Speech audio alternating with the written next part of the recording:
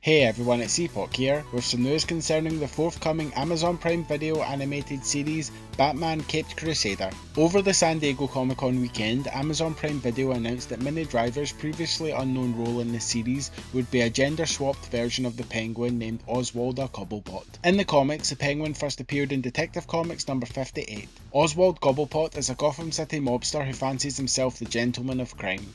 The Penguin is a criminal mastermind who is proficient in both armed and unarmed combat, and he also uses a plethora of weaponized umbrellas. Batman Caped Crusader is currently set to debut on Amazon Prime on August 1st. So let me know in the comments below what are your thoughts on a gender swapped penguin appearing on the show, will you check out Batman Caped Crusader when it releases. If you enjoyed this video then please hit that like and subscribe button and don't forget to share it with all your fellow comic book fans. Thanks for watching.